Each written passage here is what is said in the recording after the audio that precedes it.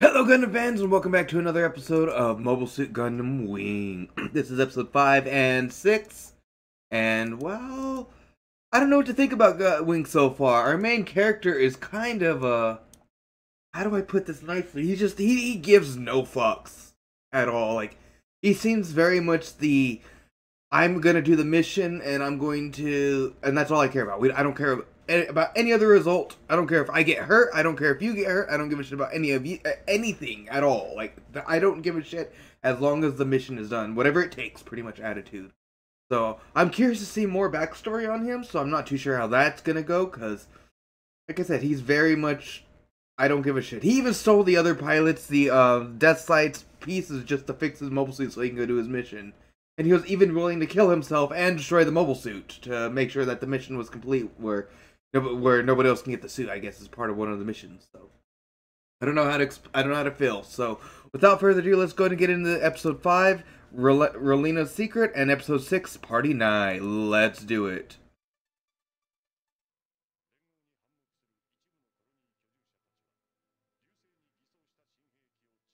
Okay, so this is a recap of the. This is kind of like the thing where it's like, uh, where they like in One Piece. So I've noticed that in these that, that has that old thing like like it's in One Piece where it's like this is the Pirate King, blah blah blah, fame, fortune, you know that kind of thing in the beginning of every episode. So they're doing that here too.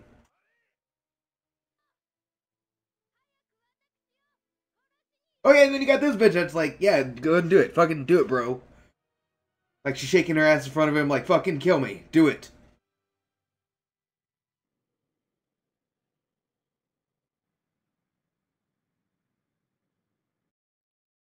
So why are they going back to space again? Do they just make frequent travels to space?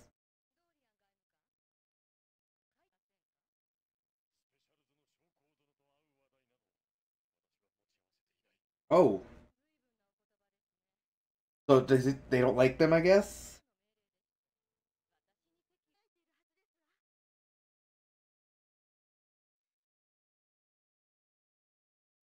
Now where are you staying at, hero?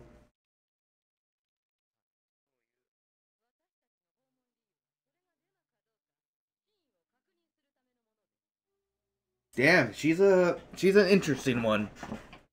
Very serious too. That's what I noticed. There's a lot of edgy characters in this series so far.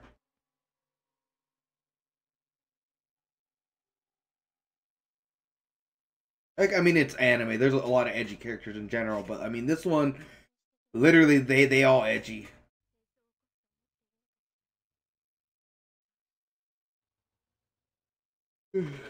Especially the main character. Oh my god, the dude's the most edgy main character yet. Other than, I mean, Setsuna's with him. They they they'd have to be tied. But Setsuna's not as. I'm gonna risk everything.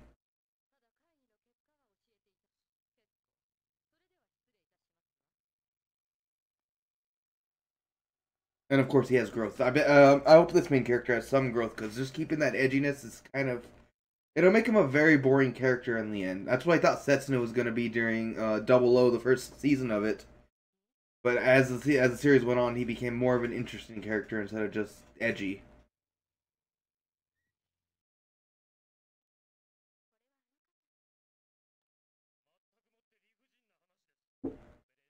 Did she just like leave that on purpose for somebody to find?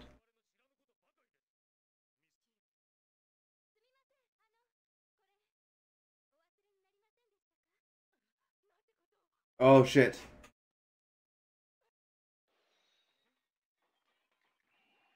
It's a bomb.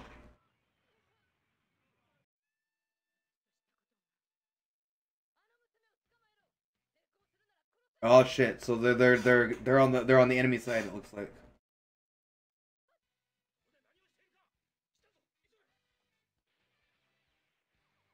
Damn, the dude's literally carrying another dude and then literally grabs the girl like a rag doll. They're just like running with them. No physics. Got it.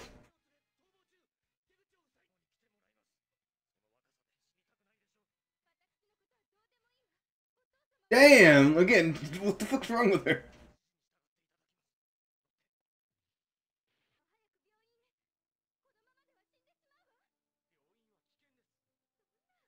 So they're just gonna drug her up, I guess. Alright, got it.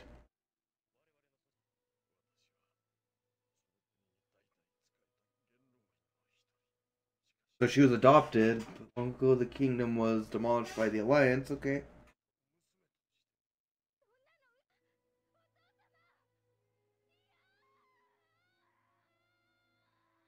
So so so much for that drug to making her relax. Oh, there it is. It it kicked in.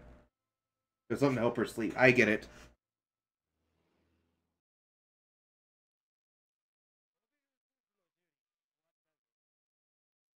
Oh shit, we got our old man sensei here.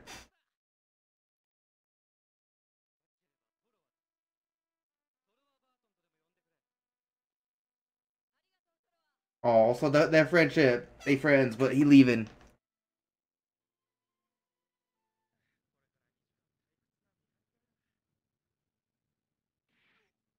Oop, knockout.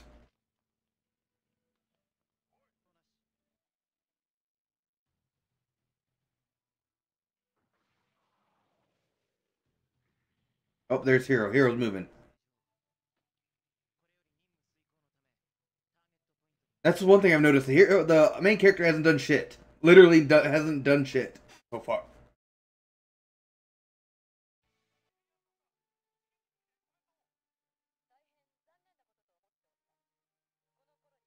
I mean, I'm just confused on why the hell he even gave her the sedative anyway to make her fall asleep that soon. Like, I'm just confused.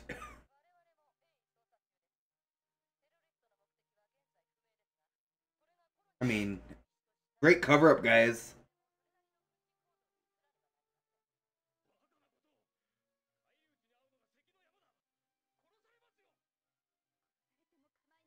Like I said, she ain't giving no fucks either.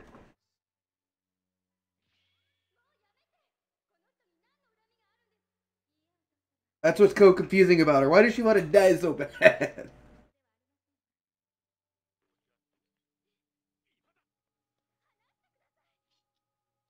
Who is this old man now?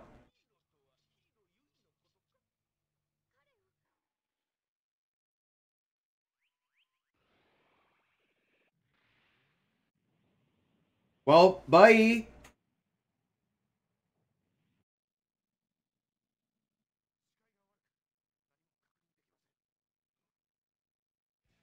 It is a Gundam. Yep. Alright, our main character is actually doing things again.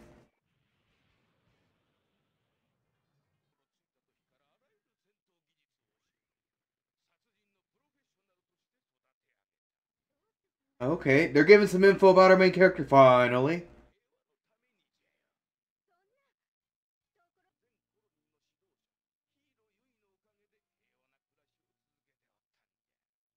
So 20 years ago under Heero Yuy.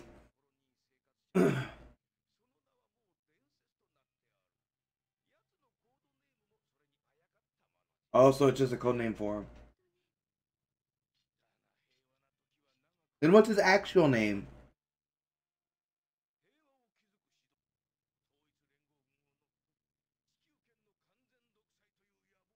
So he's basically an assassin that's sent from them to do that. Okay, that, that it's making more sense as they're explaining shit.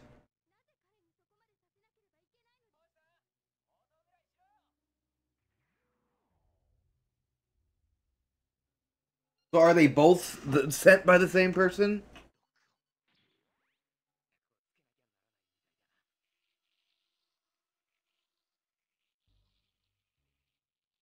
That's confusing. So now they're they're they're gonna have to kill each other. I'm so confused. I need an adult. Okay, I don't need an adult, but I just need the explanation.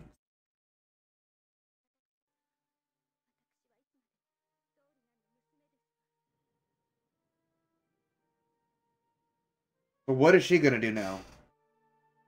She can't really make herself public anymore because those people are gonna try to assassinate her.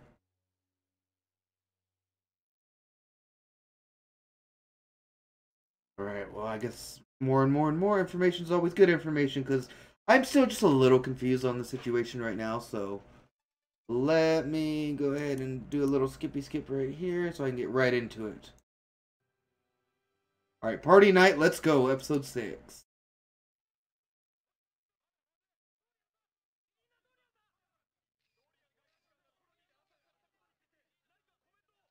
Oh, so she made herself public again. That's not the smartest idea. She should have just kept it as kidnapped. I mean, she honestly doesn't care if she dies or not, so I guess that makes sense.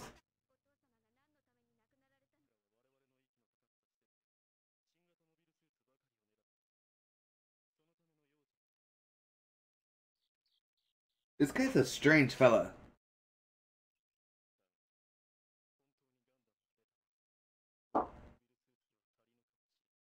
Yeah, I don't think so either, because usually a Gundam means they can take out armies. Usually. They're a little overpowered. Well, ain't a bad thing, but they're a little overpowered.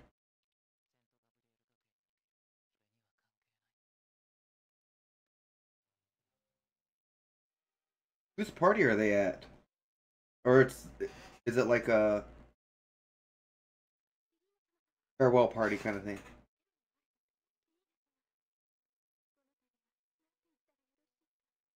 Like a uh, what do you call a funeral? Words I can't even speak today. It's one of those days. Every day's different though.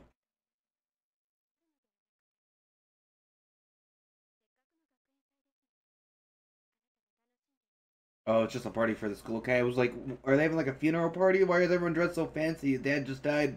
Okay, it's a school party. I got myself corrected instant. Okay, good. The events of the series is very confusing at times because it jumps around a bunch.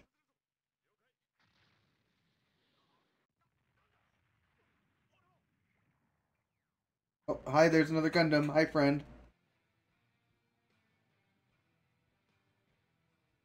This guy.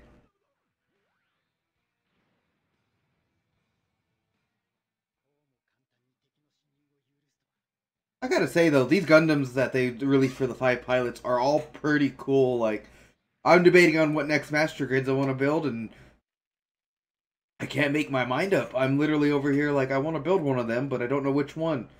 So honestly, I might, it might it might go over my Gundam budget or Gunpla budget for the month.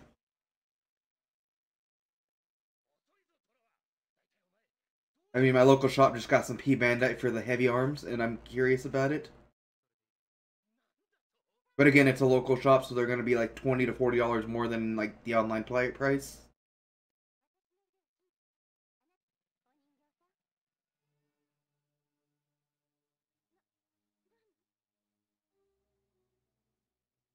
Oh gosh. It seems to be the case with all these pilots. Were they specifically chosen to have like zero fear?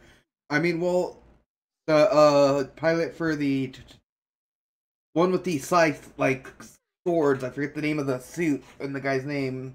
He's like the, the fancy rich kid. And then the set death scythe. Those two show the most emotion. Everybody else doesn't show any emotion, like the other three. So were they specifically chosen for that?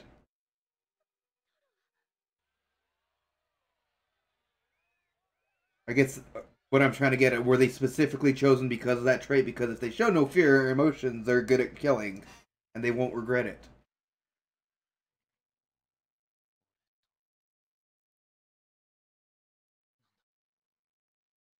Oh shit! Someone's coming.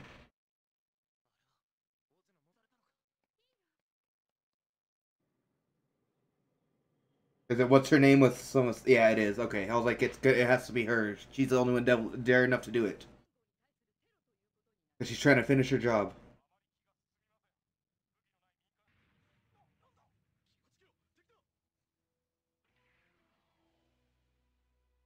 All right, hero. Gonna have to take him out.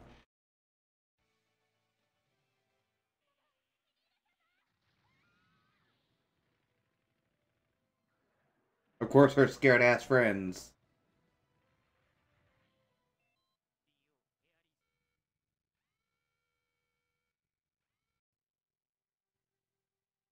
Okay, so she's got more suits on there. So I guess she has a total of five, if I remember from uh, what they just said.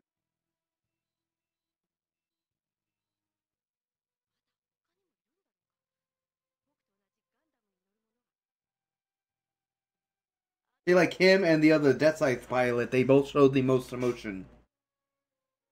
The other three do not show much at all. Like you could stab them and they'd be like, "Oh, that's cool." Their mom could die. They'd be like, "Oh, that's cool."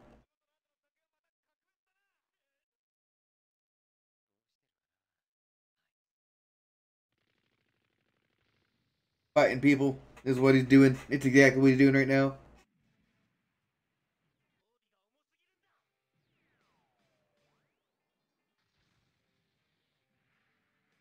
Damn, took out two in a single hit.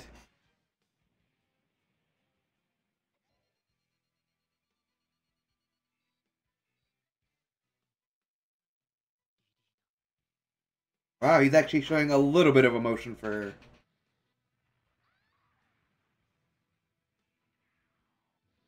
Ooh, okay.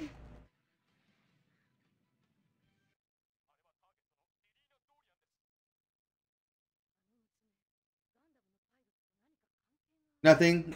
Actually, nothing at all right now. She's just stuck in the middle of it. That's why I said at this moment, nothing. the story is ever changing, so.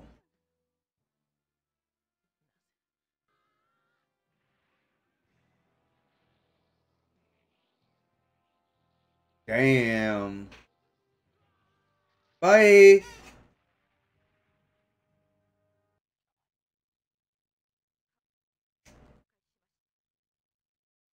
Okay. All right. So they they they retreating.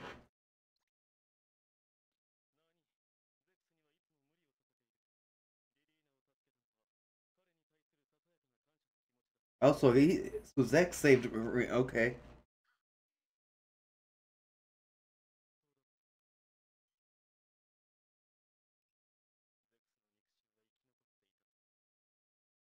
A living blood relative. Is she his child or something, or sister? Or cousin? I don't. I, I need answers. Come on, even give me the good stuff.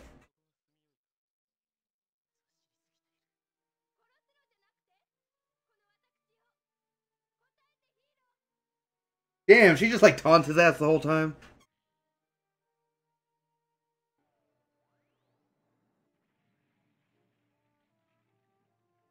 Shows no fear. Damn.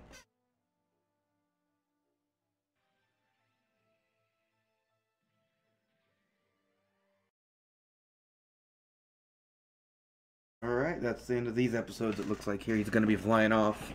I guess I will see what happens in the next few episodes there. Looks like Crunchyroll's still having a bit of an issue because it's giving the oops, something went wrong again thing. So Crunchyroll, fix your shit. Um, but no, it looks like the episode's pretty much done. It only had like a minute or two left, and it was probably just ending theme or ending song and like a couple seconds of him flying off, figuring out what to do with life. Anyway, though, that's gonna be it on this one. So it looks like our our girl here definitely is crazy. Like I don't know what to say about her, but she definitely crazy. So I guess the most I could do is continue this and figure the hell out what what is she doing? What's gonna happen next? Cause are the Gundams gonna eventually all team up and have to fight together? Because it, he doesn't look like he's a team player, at least right now. Because he still has character growth, and hopefully they continue to grow his character. So. Anyway, though, that's going to be it for me on this one. If you're liking the videos, you haven't yet done so, please slash that subscribe button. Definitely want to try to hit 1,000 subs by the end of the year, but I can't do without you guys, so definitely do your part. I appreciate it, and I'll see you in the next.